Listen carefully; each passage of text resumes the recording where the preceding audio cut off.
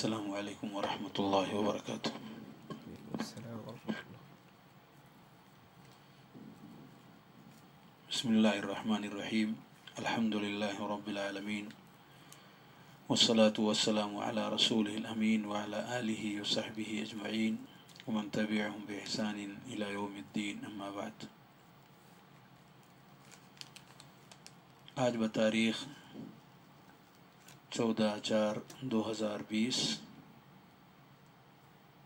इमाम इबन क़य्यम रहमहुल्लाह की मशहूर तरीन किताब अद्दाउ वद्दवा का दर्स लिया जा रहा है। और बला से मुतल्लिक़, दुआओं से मुतल्लिक़ मुअल्लिफ़ रहमहुल्लाह ने गुफ्तु के सिलसिले को बढ़ाते हुए ये ज़िक्र किया है कि दुआ और मुसीबत दोनों के दरमियान जो नस्बत है, वो नस्बत हमें समझना चाहिए। कि एक तरफ़ से मुसीबत आती है और दूसरी तरफ़ से उसकी तोड़ दुआ की शक्ल में लाई जाती है। दोनों के दरमियान मार का आराई होती है और हुक्म उसका होता है जो क़ुव्वत के एतबार से, ताकत के एतबार से दोनों में ज़्यादा क़ुव्वत वाला होता है मौलिफ़ रहमल्ला फरमाते हैं वलहु माल बलाई सलास मकामात वलहु वलहु से मुराद दुआ दुआ हो की ज़मीर दुआ की तरफ़ लौटती है वलहु माल बला सलास मकामात और दुआ बला के साथ तीन अहम तरीन मकामात और तीन अहम तरीन दर्जे में होती है। यानी दोनों जब इकट्ठे होते हैं तो ये तीन अहम तरीन मकामात दोनों के दरमियान आते हैं। तीनों में से कोई ना कोई दर्जा और तीनों में से कोई ना कोई शक्ल और कोई सूरत ज़रूर पेश आती है। ये तीनों मकाम में, तीनों मकाम क्या हैं? आगे मौलिफ ने इन्हीं तीनों मकाम की तोज़ीह की है। पहला, कहते हैं, अहदुहा, इन तीनों में से पहला ये है, अन यकून अक़वा मिनल बला।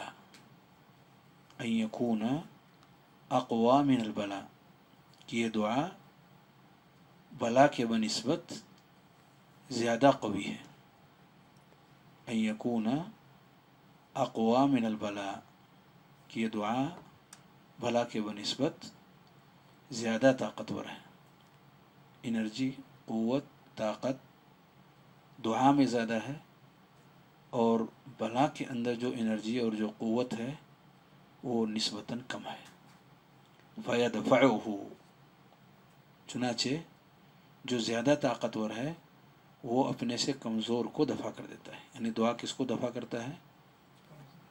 बला भला को दफ़ा कर देते हैं। ये पहली शक्ल हुई पहला मकाम हुआ। दूसरा मकाम अयकून अज़अफ़ मिनल भला अयकून अज़अफ़ मिनल बला। दोनों में से कमज़ोर तरीन कौन है?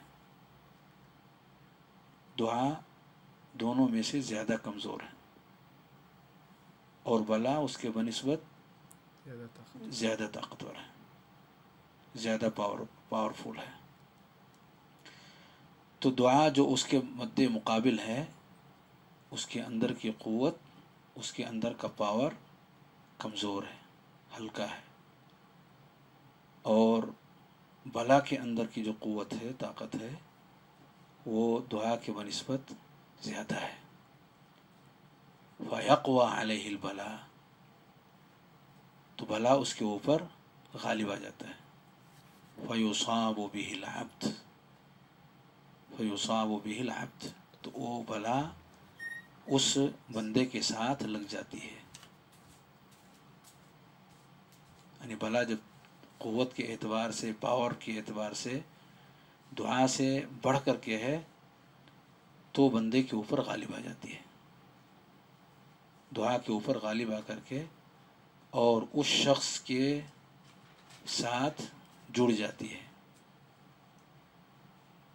वलाकिन कद यू खफ़ीफ़ हो व इनका नज़ीफ़ा लाकिन कद युखफ़िफ़ु व इन का नज़ीफ़ा लेकिन ये दुआ कुछ तखफीफ करता है। यानी मुसीबत को भला को दुआ कम करता है। गरचे फ़ी नफसी ही वो कमज़ोर है। यानी मुसीबत के एतबार से देखा जाए तो इसके अंदर वो पावर नहीं है। भला के अंदर दुआ के अंदर वो पावर नहीं है, जो पावर की भला के अंदर है, जो मुसीबत के अंदर पावर है, आफत जो हमारे ऊपर आई है, ये आफत ज़्यादा ताकतवर है और दुआ जो उसको दफ़ा करने के लिए हम इस्तेमाल कर रहे हैं, वो उतनी पावरफुल नहीं है, लेकिन कुछ न कुछ उसके अंदर क़ुव्वत तो है। अगर उस दुआ के सिलसिले को बंदे ने जारी रखा तो जितनी पावर जितनी क़वत उसके अंदर है वो अपना काम करेगी। बिल्कुल ना होने से होना बेहतर है। इसीलिए कहा जाता है शे उन खैर मिल्ला शे शे उन खैर मिल्ला शे कुछ होना ना होने से बेहतर है। कुछ होना ना होने से बेहतर है। तो अगर दुआ की गई, लेकिन टूटी फूटी दुआ है, कमज़ोर दुआ है। मुकम्मल तौर पर दुआ के आदाब दुआ के शुरूत का ख्याल उसके अंदर नहीं किया गया, कि क़ुव्वत और पावर बढ़ कर के रहे तो ना होने से बेहतर है। थोड़ी बहुत कुछ न कुछ चीज़ें नफ़ा और फ़ायदे की उसकी ज़िंदगी में आई, और बला का उतना हिस्सा कम किया। नुकसान का कुछ पहलू उसने मार दिया। पूरे तौर पर ख़त्म नहीं कर सका। पूरे तौर पर उसको उसकी ज़िंदगी से दूर ना कर सका। लेकिन उसके वजूद ने बंदे को नफ़ा और फ़ायदा ज़रूर पहुँचाया है। इसीलिए बार बार कहा जाता है कि अगर एक शख्स किसी भी हाल में आकर के अगर वो नमाज़ पढ़ता है, बहुत सारे शुरूत और बहुत सारी चीज़ों का ख्याल नहीं कर पाता, बहुत सारे आदाब का ख्याल नहीं कर पाता, लेकिन मस्जिद में आता है, नमाज़ पढ़ता है तो उसकी बाज़ कमियों और कोताहियों को देखकर माफ़ कर दिया जाए। उस पर वो अवेला न मचाया जाए। इतना कि वो मस्जिद से मुतनफ़िर हो जाए, नमाज़ से वो मुतनफ़िर हो जाए, खैर की उस चीज़ से मुतनफ़िर हो जाए। और थोड़ी बहुत हिम्मत जो उसके अंदर है, थोड़ी बहुत जो दीनदारी उसके अंदर है, वो भी कूच कर जाए, वो भी रुखसत हो जाए। तो हिम्मत और हौसला देना है कमज़ोर को कि वो कमज़ोरी ताकत में बदले। और कमज़ोरी अपने हालत पर कायम न रहे, बल्कि कमज़ोरी के अंदर अगर पावर और क़वत आ रही है तो वो पावर और क़ुव्वत उसके अंदर की जो मौजूद कमज़ोरियाँ हैं, उन्हें क्या करेगी? उन कमज़ोरियों को रफ़ा और दफ़ा करेगी।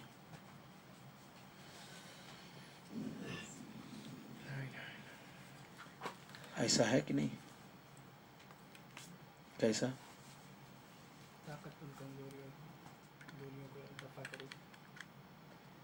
रफ़ा और दफ़ा करेगी उस कमज़ोरी को जो उस बंदे के अंदर पाई जाती है।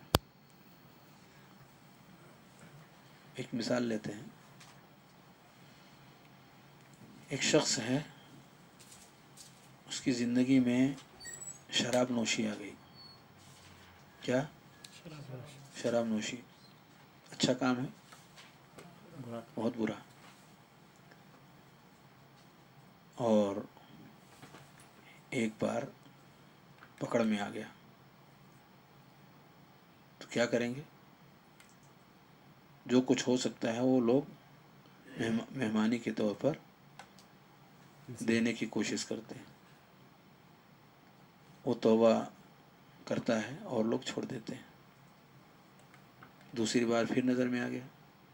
फिर क्या करेंगे लोग? धुलाई फिर वही धुलाई करेंगे।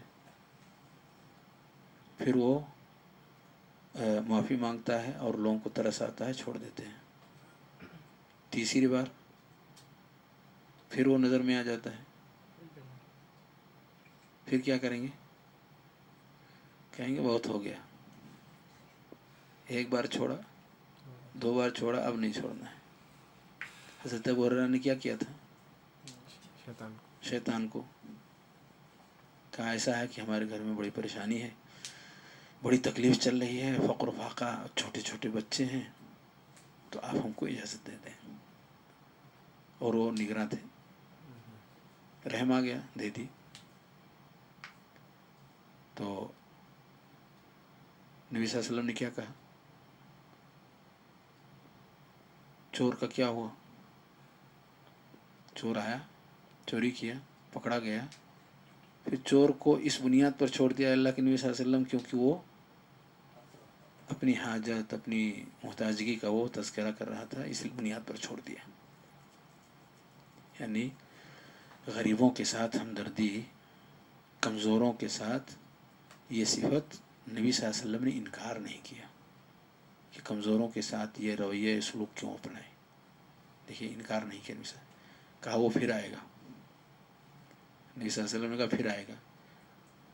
कहा, मुझे तो नहीं लग रहा था, लेकिन नबी वसल्लम ने चूँकि कहा है, इसलिए मुझे यकीन था, आएगा ज़रूर। फिर आया। फिर वही वही उज़्र। और उस उज़्र के सुनने के बाद फिर दोबारा उन्होंने छोड़ दिया। इससे अंदाज़ा ये लगाया जा सकता है कि किस कदर रहमदिली साहब कराम के अंदर मौजूद थी। और एक तरफ़ देखा जाए तो वो मुजरिम है, जो चोरी कर रहा है। लेकिन रहमदिली क्यों उसके साथ आई? कि बहुत मजबूरी में आकर के इसने कदम उठाया है। यानी पेशावर मुजरिम नहीं है, सज़ा किसको दी जाती है? पेशावर को, ताकि वो अपने जुर्म से बाज आ जाए। लेकिन ये पेशावर नहीं लगता। इसकी सूरत हाल ही कुछ ऐसी है कि मजबूरन इसने कदम उठाया, अगर इसको समझाया जाए, बताया जाए, इसके साथ नरमी और मरवत की जाए, और इसकी हाजत अगर पूरी हो जाए तो शायद ये ऐसा खुददार है, बज़ाहिर देखने में खुददार है।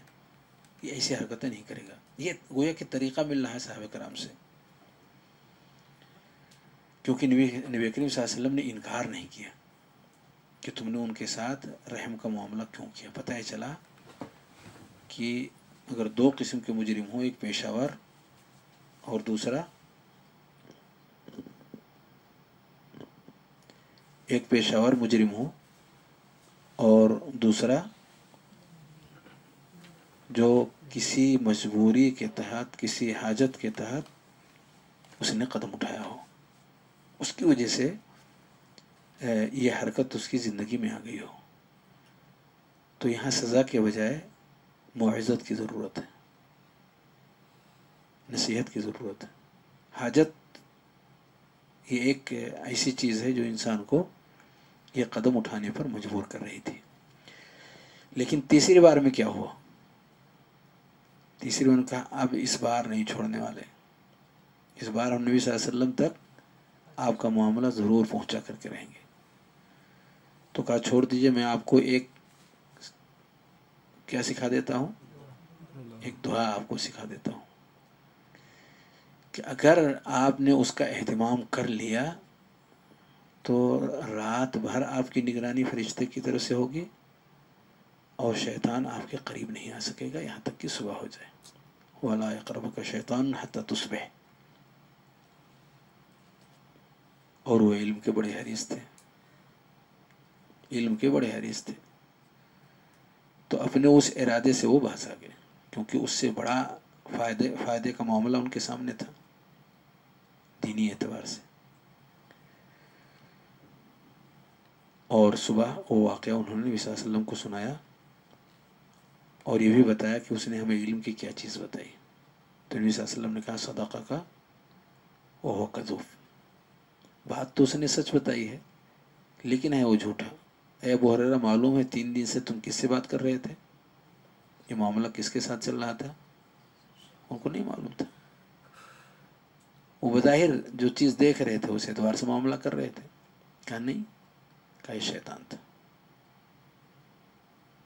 ये शैतान था जो इंसानी रूप में आकर के इस तरह का मामला कर रहा था। इससे पता चला, नबी वसल्लम के ना इनकार करने की वजह से कि अगर कमज़ोरों के साथ हुसन सलूक का मामला किया जाए, उनका सहारा बना जाए तो सुधार के रास्ते बढ़ सकते हैं, क़वत आ सकती है। और शराब का मामला भी ऐसा पेश आया नबी वसल्लम के ज़माने में, और तीसरी बार जब सहाबी पकड़े गए, और कुछ लोगों ने उस मौके पर बदुआ के कलमे अदा किए, अपनी ज़ुबान पर लाए। गालिबा बाज़ रिवायात में है अखज़ा कल्ला अल्लाह आपको रसुआ करे। और लानत के अल्फाज भी मौजूद हैं। ये सब सही हैं, या सही बुखारी की रिवायतों में है। कि अल्लाह की लानत। हो ये सारी की सारी चीज़ें सहाबा के माँ बहन हुई। नबी वसल्लम ने जब ये सुना लोगों का लान तान और बदवाई, बदवाइया कलमे तो आपने क्या कहा? नबी वसल्लम ने कहा, ला तलान ला तलान फ़िन रसूल लान तान मत करो। ये अल्लाह उसके रसूल से मोहब्बत करता है। यानी नबी वसल्लम को इतला दी गई अल्लाह रब्बुल की तरफ़ से और आपने आपने लोगों को तोजीह किया, लोगों को समझाया कि आप लान तान मत करो, ये अल्लाह उसके रसूल से मोहब्बत करता है। एक और रिवायत में है, ला तकून आउन शैतानी अला अखीकुम। ला तकून आउन शैतानी अला अखीकुम। तुम शैतान के भाई ना बनो, शैतान के मददगार ना बनो, अपने भाई के खिलाफ। शैतान क्या चाहता है? इंसान से क्या चाहता है वो? शैतान ये चाहता है कि इंसान को रब से दूर कर दे। दोनों करीब ना हो सके। बंदा अपने रब से क़ुरबत के रास्ते ना इख्तियार कर सके।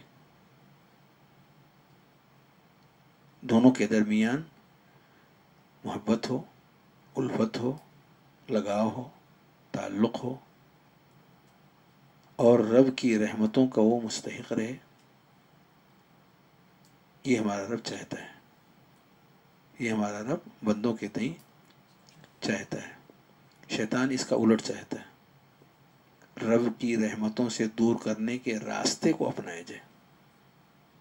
लानत के माने क्या होते हैं? अल्लाह की रहमत से दूर। अतर्द वाल इबाद अतर्द वाल इबाद। भगाना, दूर करना, अल्लाह की रहमत से, अल्लाह की रहमत से दूर करना। जब आप किसी पर लान तान करते हैं तो दूसरे लफ्ज़ों में क्या कर रहे हैं आप? रब से करीब कर रहे हैं उस बंदे को? आप वो कर रहे हैं जो शैतान की चाहत। शैतान की कोशिश का जो लुब लुबाब है, जो उसका मकसूद है, वो काम आप कर रहे हैं। इसीलिए नबी वसल्लम ने साफ़ लफ्ज़ों में कहा, ला तकून आउन शैतान, ला तकून आउन शैतान शैतान के मददगार न बनो आला अखीकुम, अपने भाई के ख़िलाफ़। शैतान रब की रहमत से इंसानों को दूर करना चाहता है। आप लान तान करके उसे रब की रहमत से दूर कर रहे हैं। आपने वो काम किया जो शैतान की चाहत के आयन मुआफ़ था, ना कि रब की चाहत के मुआफ़ तो इस तौर पर जिनसे जुर्म सादिर होता है, जिनसे गुनाह सादिर होता है, जिनसे गलतियाँ सादिर होती हैं, ख़ास तौर से अगर गुनाह और जुर्म इंसान होने के नाते से हुआ है, सरजद हुआ है तो हमारे अंदर जो सिफत आनी चाहिए वो ये कि गुनाहों से नफरत करें। गुनहगार से नहीं। किससे नफरत करें? गुनाहों से नफरत करें, यानी गुनाहों से दूरी बनाएँ। पर गुनहगार से नहीं। गुनहगार से दूरी का मतलब क्या है? शैतान के रहमो करम पे छोड़ देना। शैतान की चाहत के एतबार से उसे जहन्नम के जलालत के रास्ते पर छोड़ छोड़ देना। और ये किसी भी भाई के साथ खैर का मामला नहीं होगा। वो ज़यीफ़ है इस वक्त। जो भी बंदा गुनाह करता है तो गुनाह इंसान को क्या करता है? कमज़ोर करता है। और गुनाह पर जब तक वो बाकी रहेगा, वो मज़ीद कमज़ोरी की तरफ़ जाएगा। तो अगर हम उसको उसके हाल पर छोड़ देते हैं तो भी खैर नहीं है। उसके साथ अगर हम बेमरवती का मामला करते हैं, गैर इंसानी मामला और सलूक करते हैं कि उसका दिल टूट जाए, और वो खैर की चीज़ों से मुतनफ़िर होने लगे, अच्छे और भली चीज़ों से उसका रिश्ता कमज़ोर पड़ने लगे तो हम उसको मज़ीद कमज़ोरी की तरफ़ ले जाने का ज़रिया बन रहे हैं। हम कमज़ोर का सहारा नहीं बन रहे हैं। कमज़ोर का सहारा कैसे बनेंगे? कि हम उसको हौसला दें, गुनाह का नहीं, गुनाह से निकलने का। हम उसको हौसला दें इतात पर कायम होने का। हम उसे हौसला दें कि रब की रहमत किस कदर हमारी ज़िंदगी में अहम है और उसके बग़ैर हमारी ज़िंदगी किस कदर तारीख है। अगर ऐसे गुनहगारों के साथ इंसान क्या करे, सहारा बन जाए तो वो अपने गुनाहों से बाज आकर अपनी उस कमज़ोर सिफत को छोड़कर कौन सी सिफत अपनाएगा? जो उसे क़ुव्वत देने वाली सिफत है। इसीलिए यहाँ कहा गया कि वो उसकी दुआ कमज़ोर है। लेकिन कुछ न कुछ उसके लिए क़वत और उसके लिए सहारा वो बन रही है। और उसके ऊपर आई हुई मुसीबत में तखफीफ का ज़रिया साबित हो रही है। तो अगर हमारे अच्छे अखलाक ऐसे लोगों के साथ कायम रहे तो उन्हें उस भंवर से निकलना या उन, उनको उस भंवर से निकालना ये आसान होगा। क्योंकि वो मज़ीद कमज़ोरी की तरफ़ जा रहे हैं। अगर उन्हें उन्हें, उसी हालत पर छोड़ दिया जाए तो मज़ीद वो तारीखियों की तरफ़ बढ़ते चले जाएँगे। इसलिए वो तरीक़ा सही नहीं है। मस्जिद जैसी पाक जगह में अगर कोई शख्स पेशाब करने के लिए बैठ गए तो नबी वसल्लम ने डांट पिलाने वाले लोगों को रोक दिया। और जब वो अपना काम करके अपनी हाजत से फारिग हुए तो आपने बड़े प्यार से उन्हें सारी हकीकत उनके सामने रख दी। ऐसा नहीं है कि उन्हें उनके हाल पर छोड़ दिया जाए, वो गुनाह करें या नेकी करें अच्छा करें या बुरा करें। आप सारी चीज़ों से राज़ी रहें, ऐसा नहीं आप एक ढंग और तरीक़े से ऐसी चीज़ों से दूर करने की कोशिशों में लगे रहें। तो अगर ये सिलसिला इंसान की ज़िंदगी में रहे तो अभी जो कमज़ोर है बलाओं के सामने, वो कमज़ोरी उसकी दूर होगी और उसकी जगह क्या ले लेगी? क़वत ले लेगी। ये दूसरी हालत थी। इससे पता चला कि कमज़ोरों को अकेले नहीं छोड़ना चाहिए। देखिए, औरत कमज़ोर है कि नहीं? शरीयत ने कहीं उसको अकेले छोड़ा? बग़ैर महरम के वो सफ़र कर सकती? और सफ़र तरह तरह की मशक्क़तों का की जगह है। दुनिया भर की मशक्क़तें सफ़र में आ सकती हैं। महरम को उसके साथ करके उसके ऊपर की कमज़ोरी को क़ुव्वत में क़ुव्वत के साथ जोड़ दिया। अब वो कमज़ोर नहीं रहेगी, सताई नहीं जाएगी। और जब किसी मजबूरी के तहत ऐसी ख़वातीन अच्छे और बेहतरीन सिफत के हामिलीन मोमिन को नज़र आ जाते हैं तो भरपूर उनका साथ देते हैं, उन कमज़ोरों का। देखिए, कुरान मजीद में अल्लाह रब्बुल आलमीन ने नकल किया है। मूसा सलाम ने दो बच्चियों को देखा। दो बच्चियों को देखा। तदुदान सारे लोग पानी पिला रहे थे अपने रेवड़ों को, लेकिन ये दोनों बच्चियाँ अपने जानवरों को वहाँ से हटा रही थी। मूसा तवल्ला इलद्दिल मूसा सलाम साय वहाँ गए, पहुँचे और सूरत हाल को उन्होंने देखा और देखने के बाद आकर के उन्होंने पूछा, माँ खत्म ख़तबुकुमा? क्या बात है? तो उन्होंने जवाब दिया, कालता ला नस्की हत्ता हम उस वक्त तक पानी नहीं पिलाएँगे, जब तक कि सारे लोग पिला करके यहाँ से चले ना जाएँ। इससे आप अंदाज़ा कर सकते हैं कि वो ख़वातीन समझती थी कि इख्तलात नहीं होना चाहिए मर्दुजन का, क्योंकि हमारी कमज़ोरी से, हमारे अंदर की जो कमज़ोरी है, उससे हमारी ज़िंदगी दांव पे लग सकती है। तो जिस कदर शर से इंसान दूर रहे उसी कदर वो आफियत में रहता है। उन्होंने वही रास्ता अपनाया। काल तलानुस्की हतायुसर गया। तो जब आप महसूस कर रहे हो कि आप कमज़ोर हो तो आपको निकलना ही क्यों था?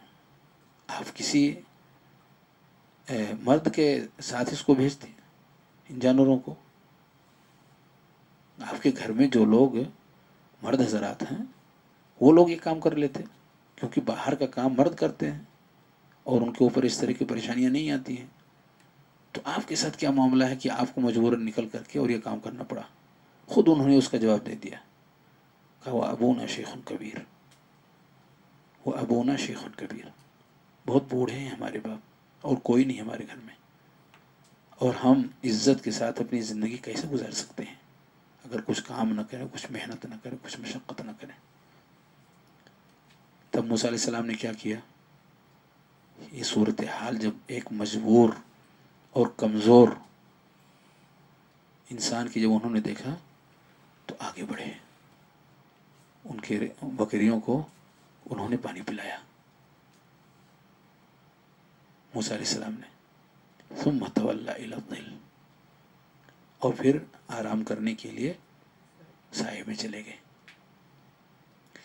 और ये बच्चियाँ अपने बकरियों के साथ अपने घर चली गई और वहाँ जाकर के पूरा वाक़ सुनाया।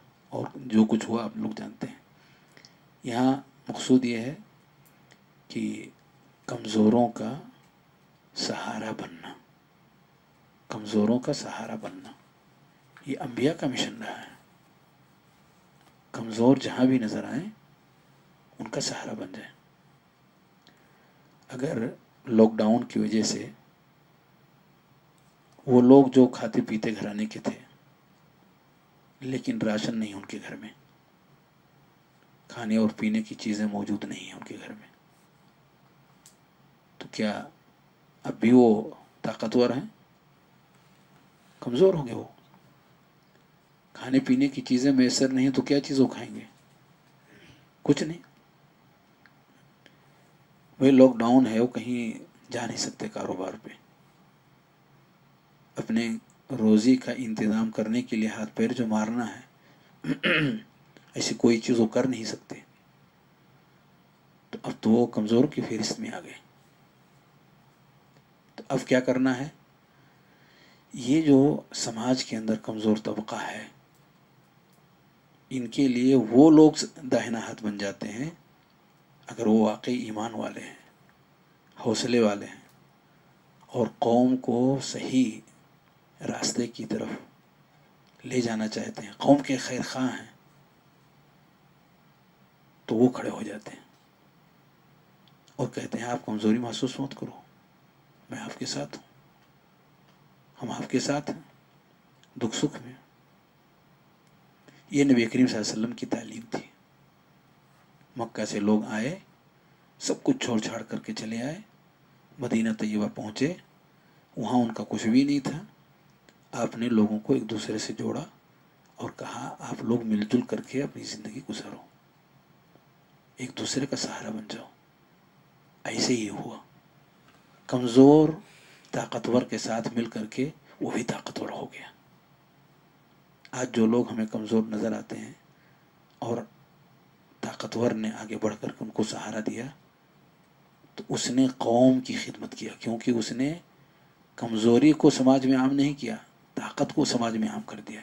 लोगों को कवि बनाने में और लोगों का सहारा बनने में उसने एक बेहतरीन सा कदम उठाया।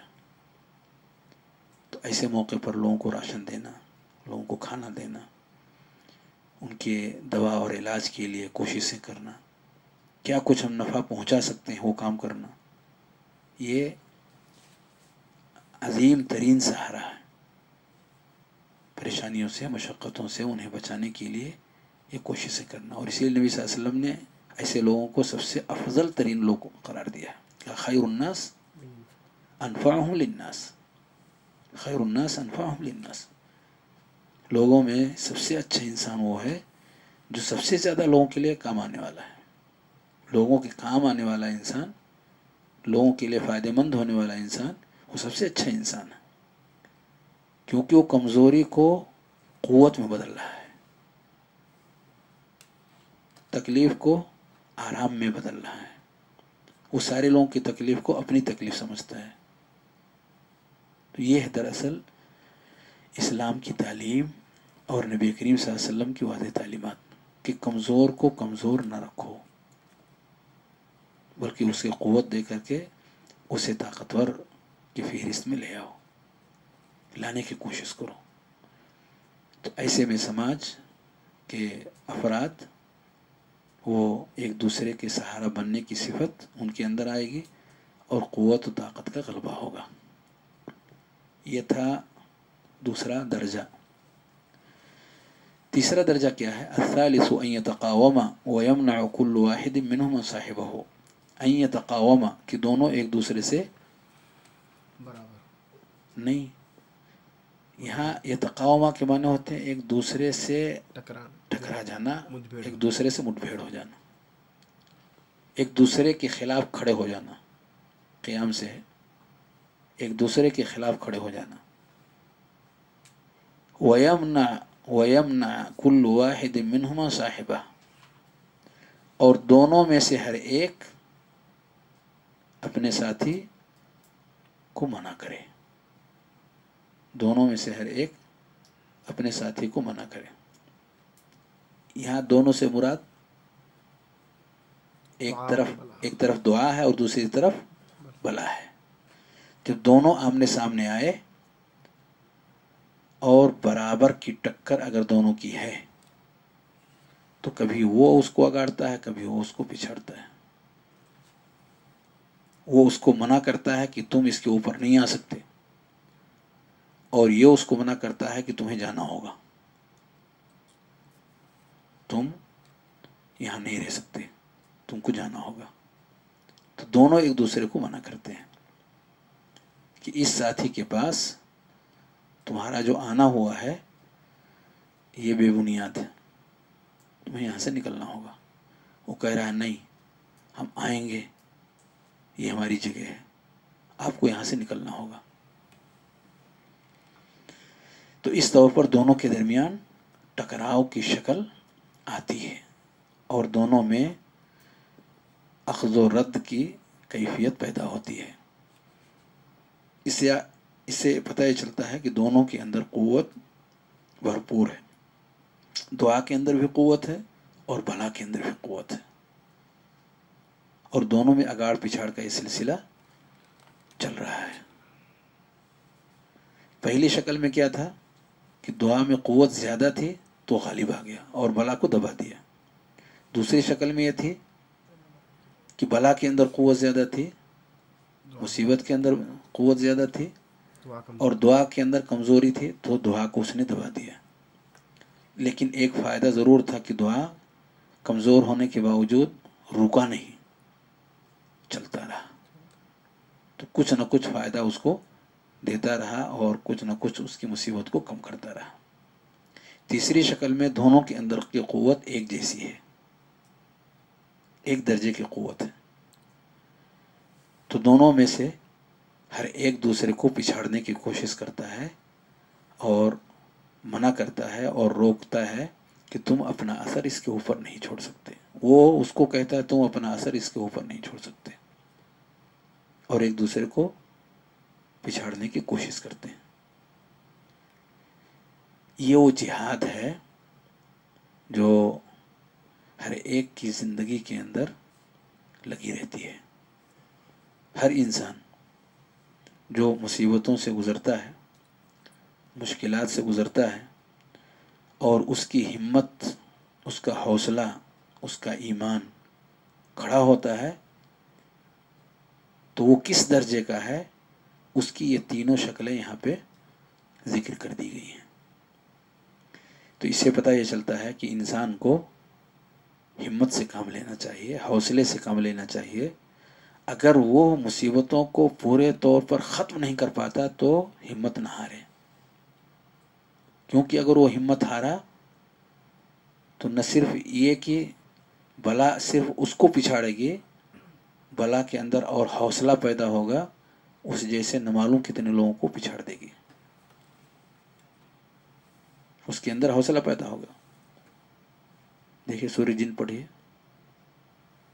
वो अन्न हुकान रिजाल मिनल इंस याऊदून बिरिजालिम मिन यऊदून बिरिजाल मिनल जिन फज़ादुहुम फजादोहम रहका जब इंसान डरा भूत है भूत शर मुसीबत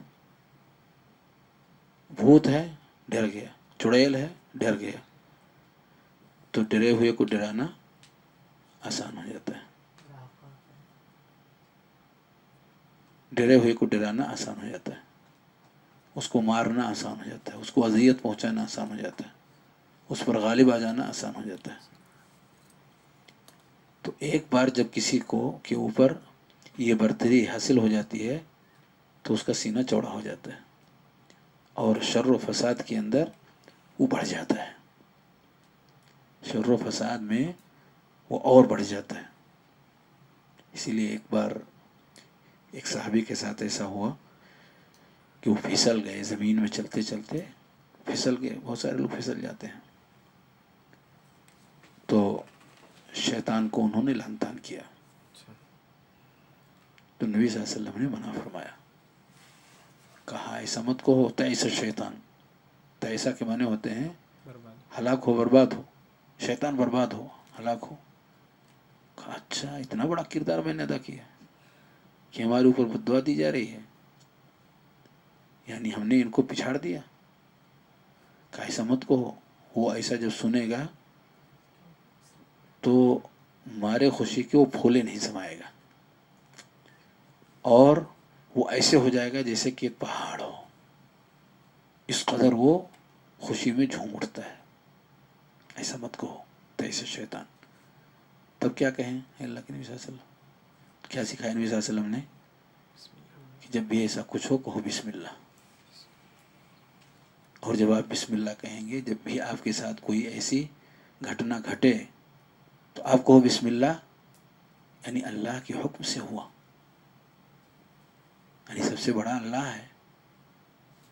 हम कभी परेशानी में भी आ सकते हैं, मुसीबत में भी आ सकते हैं, और हमें आराम और सुकून की घड़ियाँ भी मिल सकती हैं, दोनों तरह के हालात आ सकती हैं, पर वो अजीम कुदरत वाले रब की तरफ़ से ही हो सकता है। ऐसा कहोगे तो सागरा तो जलील और रसुआ होकर के वो छोटा हो जाता है।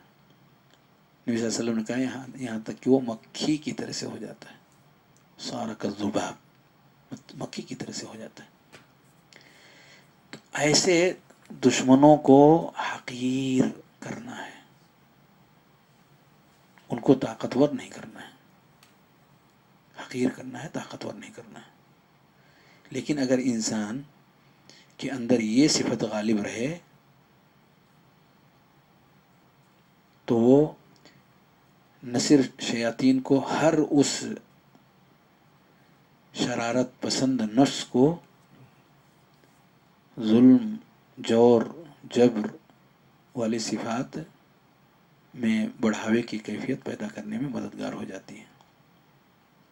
अगर इंसान खैर की इन चीज़ों के साथ में ना लगे और हिम्मत और हौसला हार जाए और अपने भाइयों के लिए, अच्छे और खैर काम करने वालों के लिए अगर वो सहारा नहीं बनता और हिम्मत और हौसले हार बैठते हैं तो फिर एक जगह की कामयाबी कमाना यह हुआ कि वो मज़ीद और जगहों की तमन्नाएँ उनके दिलो दिमाग में अंगड़ाइयाँ लेने लगती हैं। इसलिए यहाँ हमें पैगाम जो मिल रहा है इसके ज़रिए से कि दोनों के दरमियान क़वत एक जैसी होने की वजह से लड़ाई का जो सिलसिला चलता है तो अपने अंदर हिम्मत और हौसले को अगर वो बाकी रखे तो सामने वाला अपना हौसला छोड़ देगा। क्योंकि ईमान वाले के हौसले का, की बराबरी करना ये दुनिया वालों के अंदर नहीं आया है, पैदा नहीं हुआ है। तो ईमान वाला हर मुसीबत को क्या समझता है? बाई से अजरो सवाब हिम्मत यहाँ से मिलती है। कि मोमिन के सामने अगर कोई मुसीबत आती है, कोई दुख और तकलीफ़ आती है तो पछतावा के बजाय, अपने आप को लान तान करने के बजाय, किसी और को लान तान करने के बजाय, वो क्या समझ, क्या क्या नीयत उसकी होती है? उसका ईमान क्या होता है? उसका ये रहता है कि ये सब कुछ अल्लाह रब्बुल की तरफ़ से है। एक, जो चीज़ अल्लाह नाफिज करना चाहे, उसे कोई दूर नहीं कर सकता, उसे कोई रोक नहीं सकता। और दूसरी तरफ़, एक तरफ़ तो ये है उसका ईमान, और दूसरी तरफ़ उसका ईमान क्या रहता है? कि हमें हिम्मत और हौसले पर, हौसले के साथ इस पर अगर हम कायम रहे जजा फजा हमने नहीं किया, हम इस ईमान पर अगर हम कायम रहे तो इस पर हमें अल्लाह रब्बुल आलमीन अजर देगा। इन मुसीबतों पर अगर जजा फजा के बजाय रज़ा और तस्लीम की कैफियत हमारे अंदर रही कि जो कुछ भी है, अल्लाह तेरा शुक्र है। बड़ी बड़ी मुसीबत अल्लाह तेरा शुक्र है। तमाम हालात में। तो फिर अल्लाह रब्बुल अपने ऐसे बंदों को अजर अजीम से नवाजता है। इन दोनों चीज़ों को देख करके अहले ईमान का हौसला हमेशा जवान रहता है। और ये कैफियत जो जो बढ़ती जाती है, बला कमज़ोर पड़ जाती है।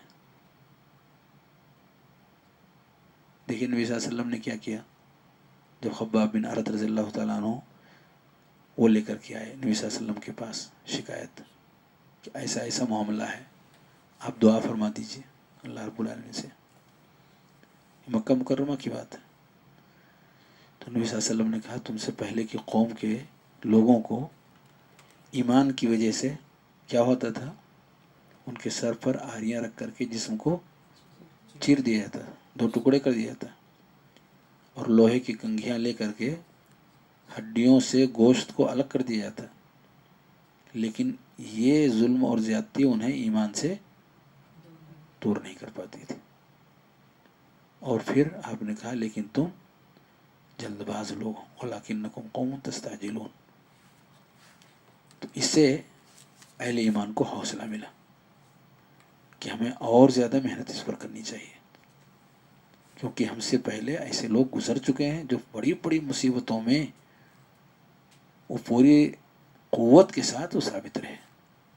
अब मिसाल के तौर पर जैसे लॉकडाउन है, इक्कीस दिन गुजरने के बाद मज़ीद बीस दिन हाँ बीस दिन की खबर आ गई कि मज़ीद लॉकडाउन रहेगा प्यारे नबी वसल्लम की ज़िंदगी में इस तरह का कोई मामला आया है? तीन साल आप कैदोबंद की मुसीबत में रहे। कैदोबंद। यानी एक घाटी के अंदर आपको एक घाटी के अंदर आपको महसूर महसूर कर दिया गया चंद लोगों के साथ। और ये दो तीन चार महीने के लिए नहीं मुसलसल तीन साल तक पत्ते खाने लगे ये सूरत हाल हो गई थी। इंसान पत्ता खाए ज़िंदगी को बाकी रखने के लिए। तो अगर नबी करीम वसल्लम की ज़िंदगी अहले ईमान के सामने रहती है, रहे तो उनके ऊपर की जो मशक्क़तें और दुश्वारियाँ हैं, वो हेच हो जाती हैं और उन्हें हौसला मिलता है नबी करीम वसल्लम की ज़िंदगी से कि अल्लाह रब्बुल आलमीन का फ़ैसला सर आँखों पर। हम उस पर राज़ी हैं।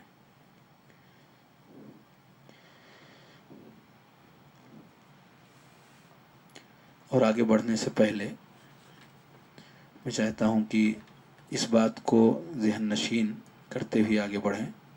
ये तीनों मकाम तो हमने सुन लिया कि कभी दुआ ज़्यादा ताकतवर होती है और कभी बला ज़्यादा ताकतवर होती है। बला में दुनिया और आखिरत हर तरह की बलाएँ हैं। यानी दीनी एतबार से वो बला हो या दुनियावी एतबार से बला हो। मुसीबत। तो हर तरह की आजमाइशें इसके अंदर दाखिल हैं, हर तरह की मुसीबतें इसके अंदर दाखिल हैं। तो कभी ये ज़्यादा ताकतवर, कभी वो ज़्यादा ताकतवर। और हुक्म उसका है जो जो ज़्यादा ताकतवर है। उसके असरात इंसान की ज़िंदगी में गालिब आ जाते हैं। इसको अमली ज़िंदगी में कामयाब बनाने के लिए और तीसरी शक्ल वो कि दोनों एक जैसी ताकत के हैं। ये तीनों हालतें इंसान की ज़िंदगी में रहती हैं। इसको अमली ज़िंदगी में आप ऐसा देख सकते हैं कि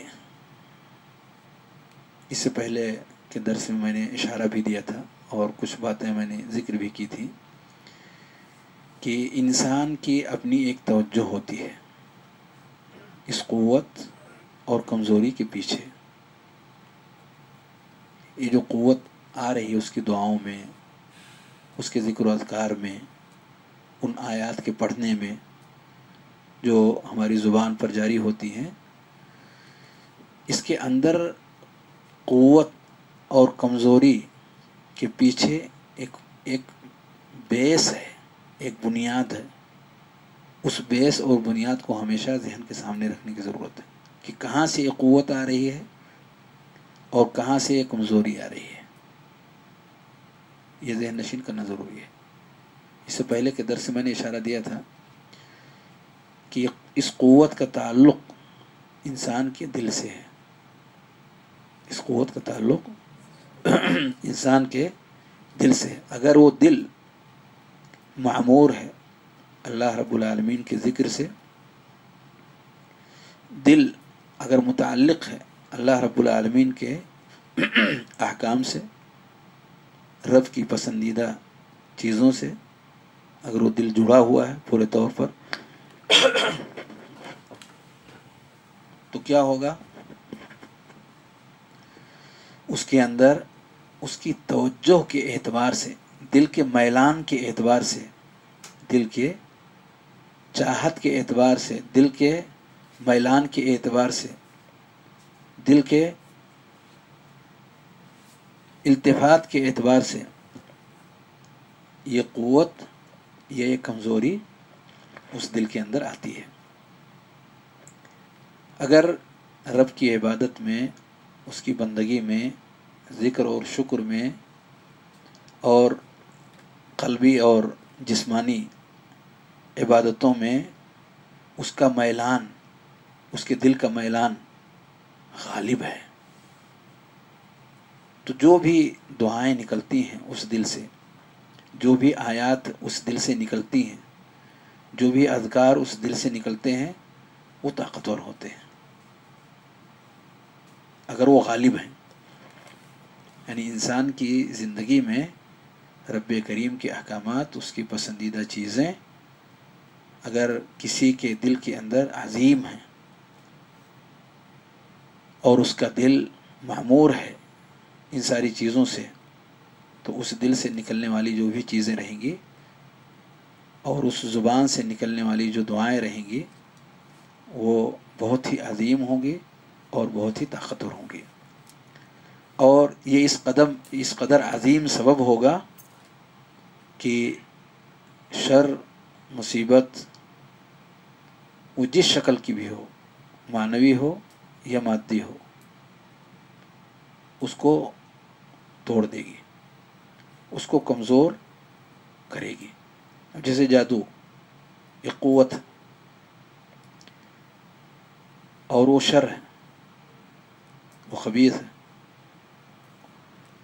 वो पूरी क़वत के साथ आती है किसी की तरफ़। और उसकी क़वत को दफ़ा करना है दुआ की क़वत से अदकार की क़ुवत से, आयात की क़ुवत से।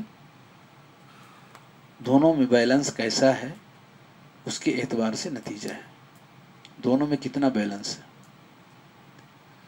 और उसकी कमज़ोरी कहाँ है और इसकी कमज़ोरी कहाँ है। दोनों जुड़ा हुआ है दिल के साथ में। अगर दिल से उस इंसान की तवज्जो अल्लाह की तरफ़ है, अल्लाह रब्बुल के अहकाम की तरफ़ है, उसकी पाबंदी की तरफ़ है तो जादू हो, जिन हो, शयातीन हो, छोटी बड़ी दूसरी मुसीबतें हों, ये उसका सामना नहीं कर सकती। उसके ऊपर गालिब नहीं आ सकती। लेकिन अगर इंसान की दिल की तवज्जो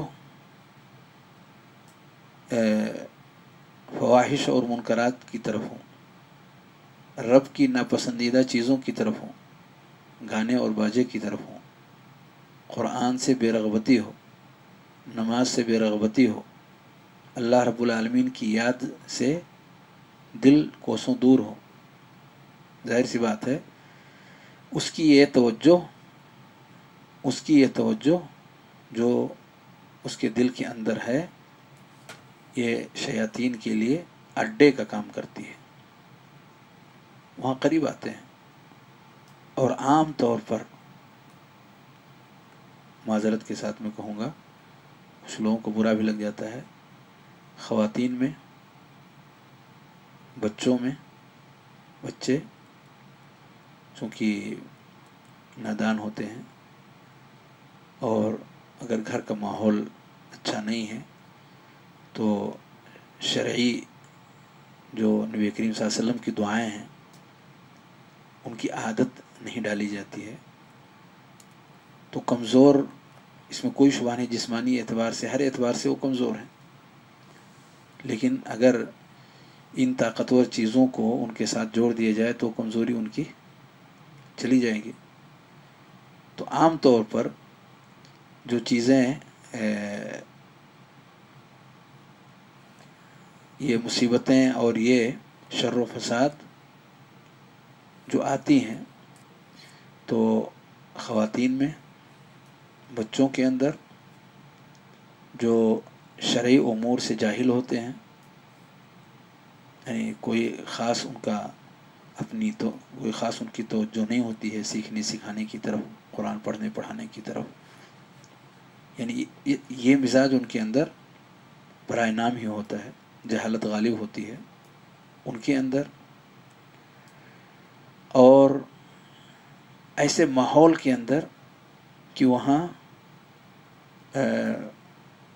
जिसको आप एक ईमान वाला माहौल कहें कि ईमान ईमानी माहौल से कोसों दूर होते हैं।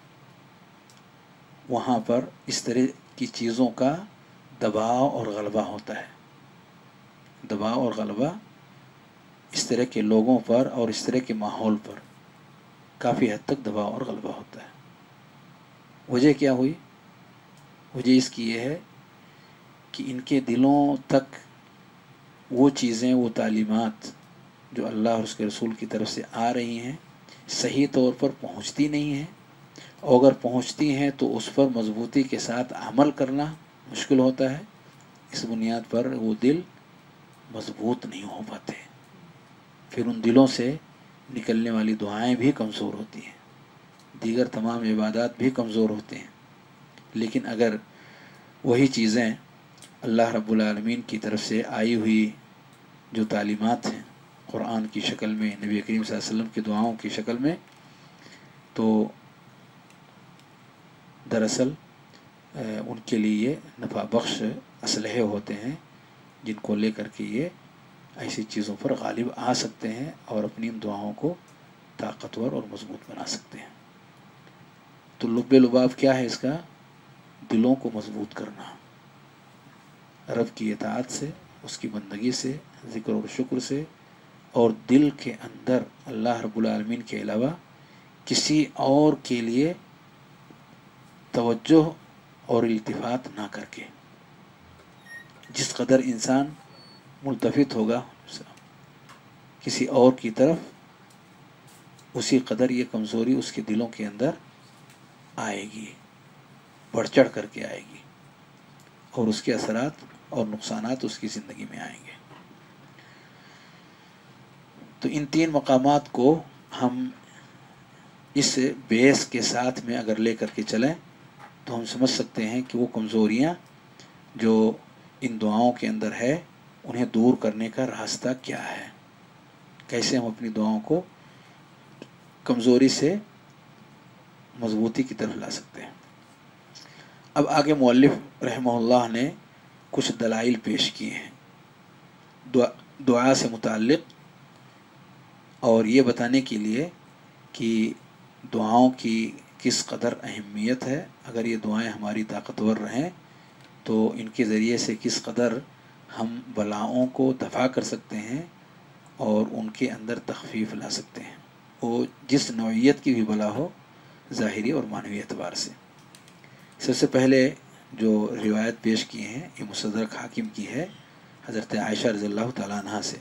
फरमाती हैं, काल अली अलैहि वसल्लम, रसूल करीम वसम ने मुझसे ज़िक्र फरमाया, ला युगनी हज़र मिन कदर। ला युगनी हज़र मिन कदर ला युगनी हज़र मिन कदर हज़र के माने क्या है? एहतियात. बचाओ. एहतियात और बचाओ. तकदीर से, यानी जो चीज़ें अल्लाह रब्बुल आलमीन ने मुक़द्दर की हुई हैं, तकदीर से हमारा अपना एहतियात बरतना ये माने नहीं हो सकता है। यानी बेनियाज नहीं कर सकता। यानी हम जितने भी इसबाब चाहें अपना लें। अगर अल्लाह रब्बुल आलमीन ने मुक़द्दर कर रखा है कि उस चीज़ को होना है तो होना है।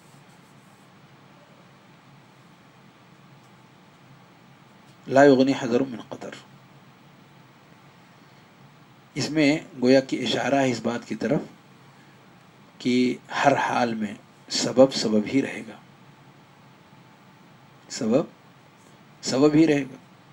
अल्लाह रब्बुल आलमीन का हुक्म, उसकी मशीयत, वो नाफिज होकर के रहेगी, वही गालिब है। लेकिन आम तौर पर सबब के असरात अल्लाह रब्बुल आलमीन ने दुनिया में रखे हैं। लेकिन बाज़ मौक़े पर अल्लाह रब्बुल आलमीन असबाब के इख्तियार करने के बावजूद अपनी हिकमत की वजह से उन असबाब के असरात को रोक लेता है। जैसा कि बाज़ रवायात में उसकी तरफ़ इशारा भी है। कि इसबाब इख्तियार करने के बावजूद उसके असरात को नाफिज ना करके कुछ और चीज़ों का अल्लाह रब्बुल फ़ैसला करता है अपनी हिकमत की वजह से। क्योंकि वो हकीम है। वो बेहतर जानता है कि इंसान की भलाई किस चीज़ में है। उसको वो मुकद्दर करता है। तो अल्लाह की मशीयत गालिब है। हमारे ज़ाहिरी इसबाब को अपनाने के बावजूद। लेकिन इसका ये माना नहीं कि ज़ाहिरी इसबाब हमें नहीं अपनाने हैं, क्योंकि उसका हुक्म है ज़ाहिरी इसबाब को अपनाने का। एमलो फ़कुल्लमसर लिमा खुलक़ला नबी वसल्लम ने कहा, काम करते जाओ। उन्होंने कहा, अल्लाह के नबी जब सब कुछ लिखा ही है मुकद्दर ये कि होना है होना है, सब कुछ लिखा ही है कि होना है होना है तो फ़फ़ी मलामल तो फिर काम किसका हैगा काम किस लिए? क्यों ना हम इंतज़ार करें। जो अल्लाह रब्बुल आलमीन को करना है, वो हो जाएगा। हम किस लिए ये करें और वो करें और ये एहतियात और वो एहतियात? क्यों? नबी वसल्लम का एमलो जिस चीज़ के करने का हुक्म दिया जा रहा है, उसे करो। ये ज़ाहरी इसबाब है। फ़कुल्ल मैसर लिमा खुलक़ला हर एक को, हर एक के लिए अल्लाह रब्बुल आलमीन उन चीज़ों को आसान करता है, जिसके लिए वो पैदा किया गया है। खैर की चीज़ों को अपनाएगा वो रास्ता उसके लिए आसान होगा। शर की चीज़ों को अपनाएगा, वो रास्ता उसके लिए आसान किया जाएगा। ये असल है। यही असल है। और कभी कभार अल्लाह अपनी कुदरत कामिला को ज़ाहिर करने के लिए बाज़ और हमतों की बुनियाद पर इसका उलट भी करता है। ताकि लोग अल्लाह की हमत से गाफिल ना हो जाएँ, उसकी कुदरत कुदरत कामिला को हमेशा जहन नशीन रखते हुए बच बचाव करके इस ज़िंदगी को गुजारें। डरते हुए अल्लाह रब्बुल आलमीन का खौफ रखते हुए इस ज़िंदगी को बड़ी एहतियात के साथ गुजारें। लायुगनी हज़र मिन कदर। तो हज़र मिन कदर का मफहम आया समझ में? एहतियात तकदीर से बेनियाज नहीं करती। यानी जो लिखा है वो हो करके रहेगा। चाहे जिस कदर आप, आप इसबाब अपना लें। ऐसा कभी कभार होता है। ये जबता नहीं है। असल जबता क्या है? कि जो इसबाब इख्तियार किया जाए, अल्लाह रब्बुल ने उसके असरात जो मुक़द्दर किए वो होगा। पानी पी रहे हैं तो प्यास जाएगी। ये उसका असर है। खाना खा रहे हैं तो सैराबी उसे हासिल होगी। पेट उसका भरेगा। यह सबब और उसका असर अल्लाह रब्बुल आलमीन ने रखा है। तो असल ये है कि इसबाब के असरात अल्लाह ने मुक़द्दर किए ये भी तकदीर ही का एक हिस्सा है। ये भी तकदीर का एक हिस्सा है। तो तकदीर ये भी है कि इसबाब इख्तियार किए जाएँ। तकदीर ये भी है कि इस सबब को इख्तियार करने से ये चीज़ हासिल होती है तो कभी कभार वो चीज़ नहीं होगी। कुछ और होगी अगर ऐसा आप इख्तियार करते हैं। इसीलिए जब हज़रत उमर रज़ी तु से कहा गया अफ़रार मिन कदर क्या अल्लाह की तकदीर से भागते, भाग रहे हैं आप? आप बचना चाहते हैं, अपने आप को बचाना चाहते हैं? क्या आपको बीमारी नहीं पकड़ेगी? आप यहाँ से भागते हुए जा रहे हैं? तो हस्त उमर रज़ी तु नफिर मिन कदर इला कदर हम अल्लाह की तकदीर से अल्लाह की तकदीर की तरफ़ जा रहे हैं। ये भी तकदीर है कि जो बीमार नहीं है, वो बीमारों के बीच में न जाए। ये भी अल्लाह की तकदीर है। एहतियात करना, ये अल्लाह की तकदीर है। बच बचाव का रास्ता अपनाना, ये अल्लाह की तकदीर है। तो उमर रज़ी ने जवाब दिया कि एहतियात करना, ये हमारे नबी ने सिखाया। कि लायुरदन मुमरदन आला मुसह। कि वो लोग जो बीमार हैं, इस तरह की बीमारी, जो फैलने वाली बीमारियाँ हैं उनके बीच में उन्हें ना लाया जाए जो उससे खाली हैं, जो तंदुरुस्त हैं, सेहतमंद हैं, उन्हें अलग रखा जाए, उनसे दूर रखा जाए। तो ये हमारी शरीयत ने सिखाया है। तो ये तकदीर का एक हिस्सा है। इसलिए उमर उन्होंने कहा कि हम तकदीर से तकदीर की तरफ़ जा रहे हैं। तो सबब तकदीर का एक हिस्सा है। सबब अपनाना तकदीर का हिस्सा है।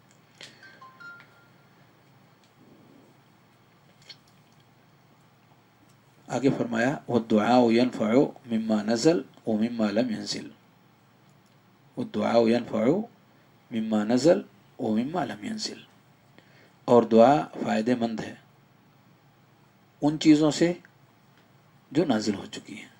यानी जो मुसीबतें इंसान पर आ चुकी हैं, फ़ायदेमंद है, यानी उन मुसीबतों को अल्लाह रब्बुल आलमीन दफ़ा करेगा या उनमें तखफीफ पैदा करेगा। ओमिम मालम यंसिल, और उन मुसीबतों के लिए भी फ़ायदेमंद है, जो अब तक आई नहीं है, ताकि ना आए। दोनों हालतें दोनों हालतों के लिए दुआ फ़ायदेमंद है। जो नहीं आई हैं, इंसान दुआ करता है कि अल्लाह तो हमें ऐसी वबाओं से बचा, हमको महफूज रख। और जो आ चुकी हैं, ताकि उसके शर से इंसान बच सके। या अगर वो शर आ चुका है तो उसमें तखफीफ के लिए तो अल्लाह रब्बुल आलमीन हर हाल में उसके लिए दुआओं को नफ़ा बख्श बना देता है। मम्मा नज़र मम्मा व इन बला और बला इंसान की ज़िंदगी में आएगी। ये अल्लाह ने मुकद्दर कर रखा है। दुनिया की ज़िंदगी में बलाओं को आना है, बलाएँ आएँगी। फ़यलक़ाह दुआ जब बला आएगी तो दुआ उससे मुलाकात के लिए आगे बढ़ेगी। फ़यलक़ाह दुआ दुआ उससे मिलती है। जब बला उतरती है, दुआ उससे जाकर के मिल जाती है। फ़या फ़या जान। तो दोनों एक दूसरे से टकरा जाते हैं। दोनों में मुकावमत होती है। दोनों एक दूसरे के ख़िलाफ़ खड़े होते हैं। और वो होता है जिसका बयान आप तीनों मकामात में पढ़ चुके हैं। क़यामत तक ये सिलसिला जारी रहेगा कि एक तरफ़ से बला आ रही है और दूसरी तरफ़ हमारे पास जो दुआओं के असलहे अल्लाह ने रखे हैं, इन असलहों को छोड़ दिया जाता है। ताकि उससे मुलाकात करके और उसको वहीं दफ़ा कर दें। ऐसे होता है। तो अगर ये ताकतवर रहेगी तो उसको आने ही नहीं देगी। दुआ। और अगर ताकतवर नहीं, कमज़ोर रही तो आ पहुँचेगी वो। और दुआ फिर भी लगी रहेगी लगी रहेगी लगी रहेगी यहाँ तक कि उसमें तखफीफ का ज़रिया और सब, यहाँ तक कि दुआ में क़वत आ जाए और वो पूरे तौर पर उससे दूर करने में, दूर करने का ज़रिया बन जाए। ये रिवायत मुसदर हाकिम की है, मगर ज़यीफ़ है। रिवायत सही नहीं है। ये रिवायत जो भी पेश की गई है, ये रिवायत सही नहीं है। सिलसिला ज़यीफ़ा में अल्लाह अलबानी ने इसे ज़िक्र किया छः हज़ार सात सौ चौंसठ।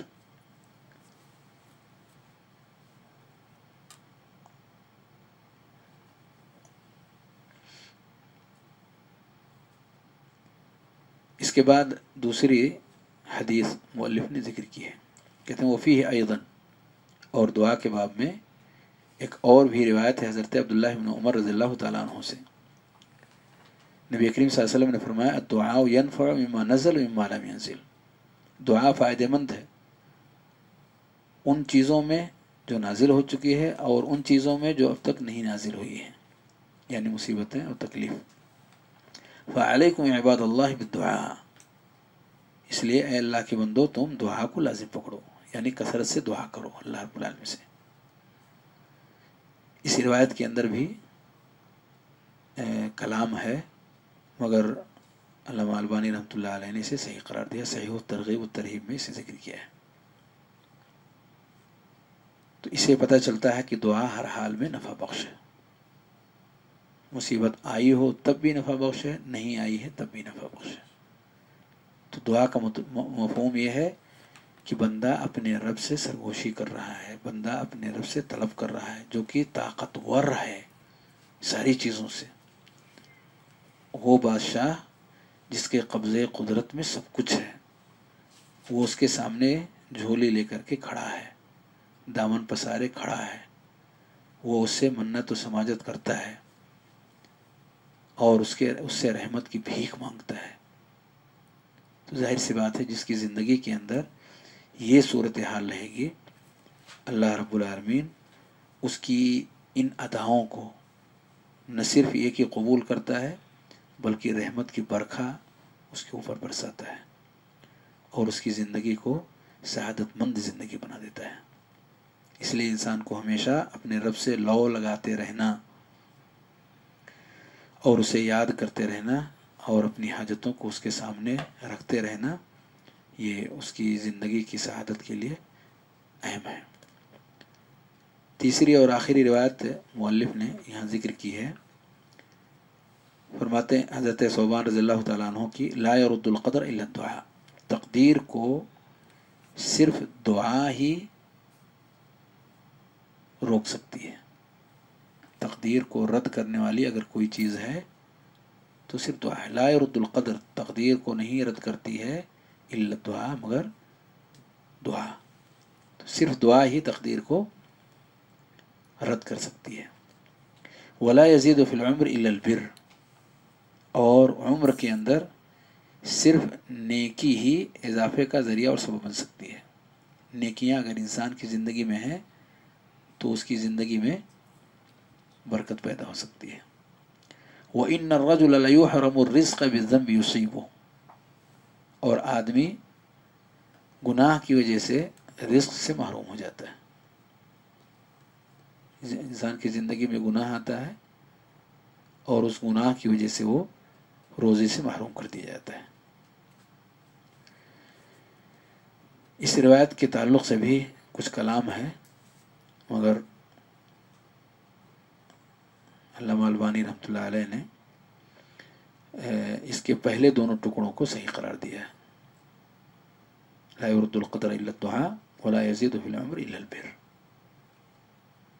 और उसके बाद का तीसरा जो टुकड़ा है, वो अपने हाल पर बाकी है, यानी ज़यीफ़ है। सही और दुरुस्त नहीं है। इस रिवायत से पता चला कि वो चीज़ें जो इंसान के लिए तकलीफ़ दे हैं, अगर उन्हें दूर करने का, उन्हें रद्द करने का, अगर कोई ज़रिया और सबब अल्लाह ने किसी चीज़ को बनाया है तो दुआ को बनाया है।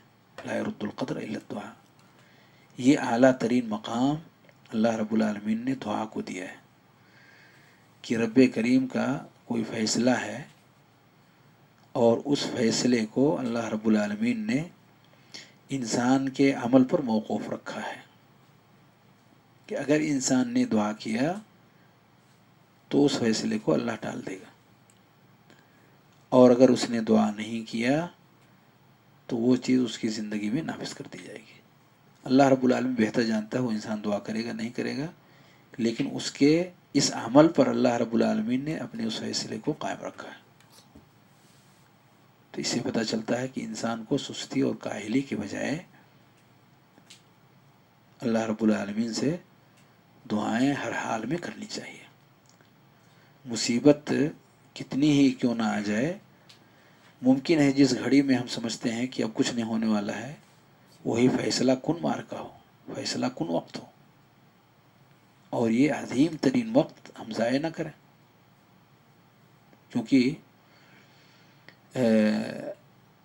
जब टकराव की शक्ल आती है, मुसीबत के साथ वो मुसीबत जैसी भी हो, जिस नोयत की भी हो, जब टकराव की शक्ल आती है तो टकराव के दरमियान अल्लाह रब्बुल आलमीन की याद बहुत ही माना खेज हुआ करती है। बहुत ही नफा बख्श हुआ करती है। कैसे कहा अल्लाह रब्बुल आलमीन ने? वैदा लकीतुम फ़ियतन फसबुतु। आगे कसीरन।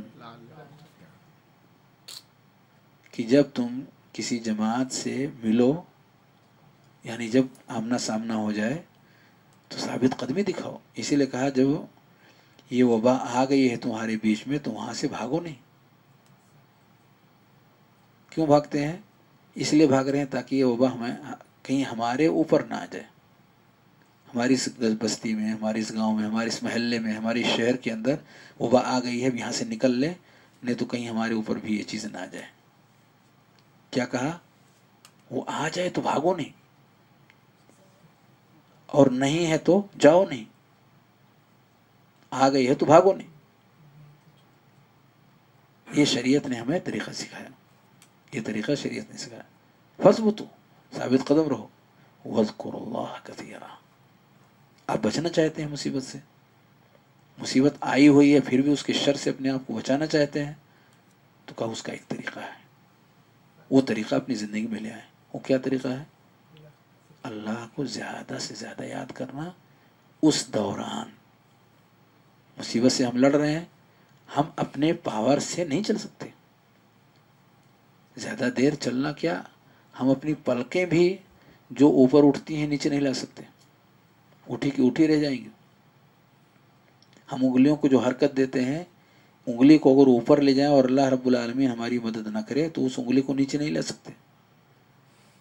कुछ लोगों को शरारत सूझी और उन्होंने ऐसे कुछ उल्टी सीधी हरकतें अल्लाह रब्बुल आलमीन की ज़ात के हवाले से कहनी शुरू कर दिया जानते हैं क्या हुआ? इस तरह के कई वाक़यात हैं और वाक़यात से सिर्फ़ इबरत मिलता है। वाक़यात से इंसान को इबरत मिलती है कि इस तरह की हरकतें उसकी ज़िंदगी में नहीं आनी चाहिए। बंदा जमाई आता है तो शरीयत क्या कहती है? हाथ रखो दफ़ा करो उसको। जितना मुमकिन हो सके उसको दफ़ा करो। नहीं दफ़ा कर पा रहे हो तो हाथ से ढक लो। क्योंकि शैतान हंसता है। अब अगर किसी को शरारत सूझे और शरीयत का ये हुक्म पसंद ना आए, मज़ाक सूझे तो जानते हैं उसके साथ क्या होता है। मुँह खुला का खुला रह जाए। नीचे का हिस्सा नीचे और ऊपर का हिस्सा क्या होगा उसकी ज़िंदगी में? मज़ाक करना शरीयत के अवामिर का। ऐसा हुआ है। ऐसा कुछ लोगों के साथ हुआ है। तालब इल्म के बारे में पढ़े हैं। सब लोग पढ़े हैं माशाल्लाह। कि फरिश्ते अपना पर बिछा देते हैं। रिदम बिमायसना रिदम बिमायसना वो जो मिशन पे लगा हुआ है तलब इल्म के ये इतना अच्छा मिशन है कि उस मिशन की अच्छाई की वजह से उनकी इज़्ज़त व तकरीम कितनी की जाए, वो इज़्ज़त व तकरीम की खातिर वो अपना पर बिछा देते हैं, फरिश्ते, जो कि नूरी मखलूक हैं और कभी मासीत और नफरवानी नहीं करते। वो अपने अपने परों को बिछा देते हैं। तो किसी को शरारत सूझी, कहा अच्छा अब मैं जो जूता पहनूँगा, वो नीचे कांटी लगवा दूँगा। जूते में नीचे क्या लगाएँगे? पर बिछाएँगे ना, सब सुराख कर देंगे उस परों में तो उड़ ही नहीं पाएँगे वो। मेरे पास एक किताब है, उसके अंदर लिखा हुआ है वाक्य।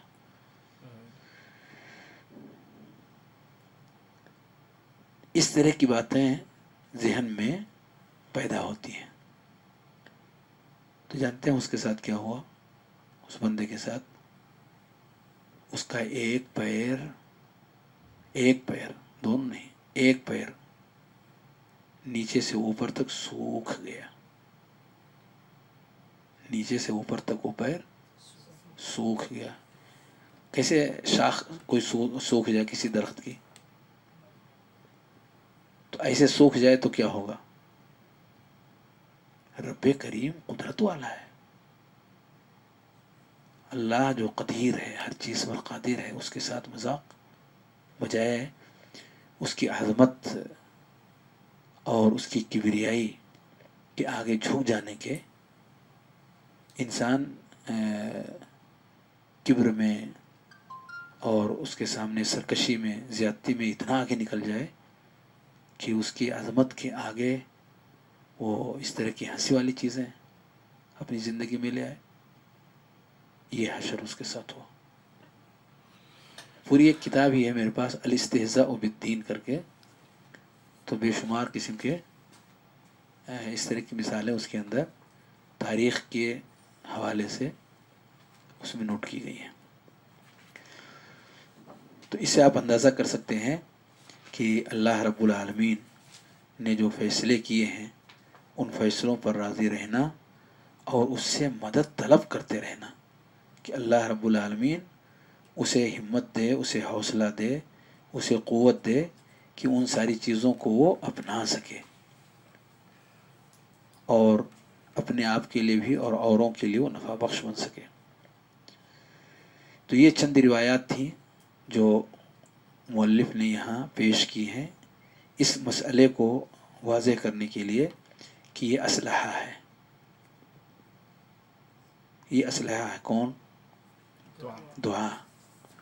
और ये असलहा बंदे को हमेशा मज़बूत तरीन बनाने की ज़रूरत है।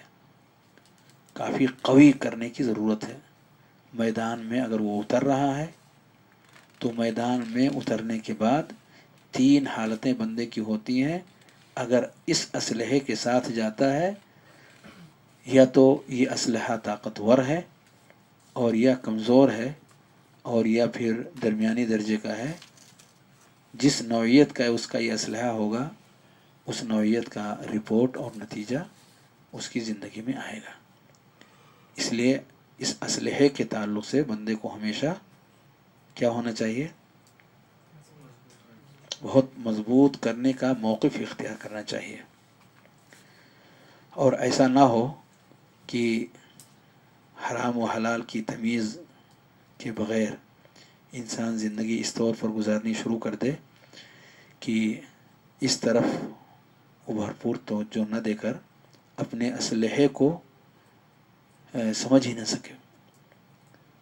वो महसूस ही न कर सके कि उसकी ज़िंदगी में कोई ऐसी भी चीज़ है जिसको असलहा कहते हैं। ये ऐसा असलहा है जो सिर्फ़ अहले ईमान के पास रह सकता है। अहले ईमान के अलावा इससे दूर है। उनके पास ये चीज़ नहीं है। और उन्होंने भी जब इस औज़ार का इस्तेमाल किया है तो अल्लाह रब्बुल आलमीन ने उनका भी साथ दिया है। जैसा कि कुरान की आयत से ज़ाहिर है, फ़ैदा रकबू फ़िलफुल्क दाउल्लाह मुखलसिन लहुद्दीन लेकिन अंजैतना मिन हादिही लनकूनन्न मिन शाकिरीन।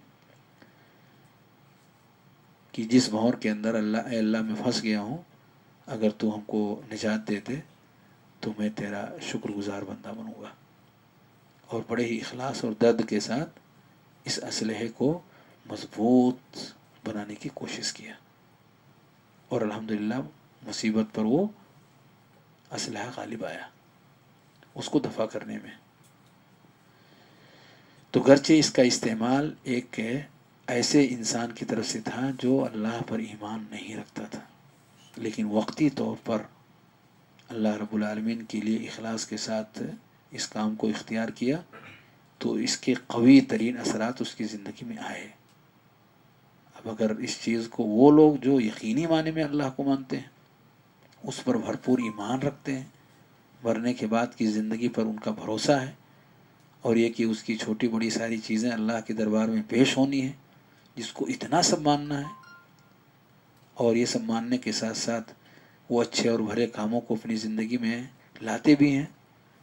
उनका असल अगर ये ताकतवर हो जाए तो फिर यकीनी माने में हर तरह की कामयाबी और कामरानी इसे ज़िंदगी के अंदर अल्लाह उन्हें अता फरमाएगा। इसी पर इक्तफा करते हैं। सुबहानकल्लाहुम्मा व बिहम्दिक। अशहदु अल्ला